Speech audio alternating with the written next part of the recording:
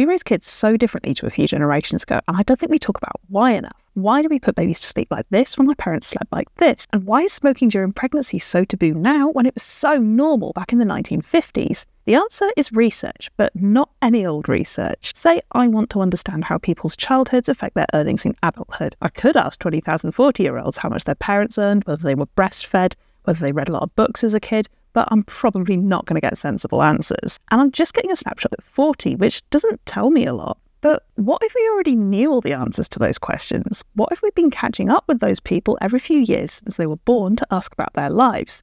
That is called a birth cohort study. They are a really powerful way to understand the patterns that play out in our lives and in wider society, whether that's generational poverty or health inequality. There's been a bunch of these studies in the UK over the years looking at different generations, and the stuff they've taught us has informed everything from parenting advice to school policy. By allowing their lives to be studied, these volunteers have made everyone's lives better. But since the last UK birth cohort study 25 years ago, childhood has changed a lot, and there are a bunch of new questions about how kids today are going to grow up. So, this is really exciting. This new birth cohort study is called Generation New Era, and it's going to follow a group of children born in 2026. What would you want to know about modern childhood? Let us know in the comments.